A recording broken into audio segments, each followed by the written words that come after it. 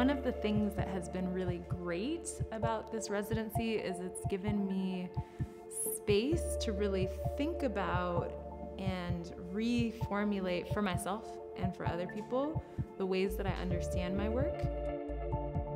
So there's head adornment, there's installation and sculpture, and then there's kind of other textile and fiber things that don't fit into or weave in and out of those two spaces in terms of materiality process.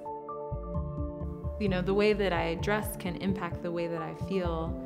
And with head adornments, one of the things that's great about them is that you can put them on top of anything, you know? Like you can put them on, take them off, swap them out. So maybe I need this object to help me feel this way in this moment, and the next moment I want another one, and just take it off. You know, it's not as difficult as maybe doing a full, a full change. I don't know that I chose fibers or weaving or filaments as a medium as much as they chose me.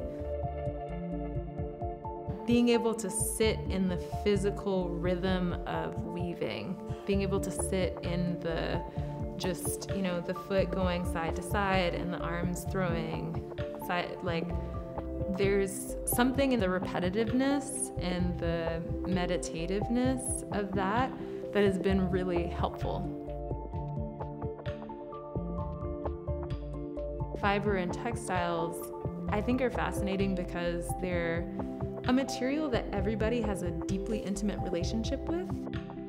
You know, you wear clothes, you sleep in sheets, even when you're getting out of the shower and you're naked, you dry yourself with a towel, you know, or wrap yourself in a robe. So there's this way that we're always in in conversation with connection, um, contact with textiles and fibers, and yet we're deeply estranged from the processes, the materials, the methods, the time, the labor, the people whose expertise goes into producing them.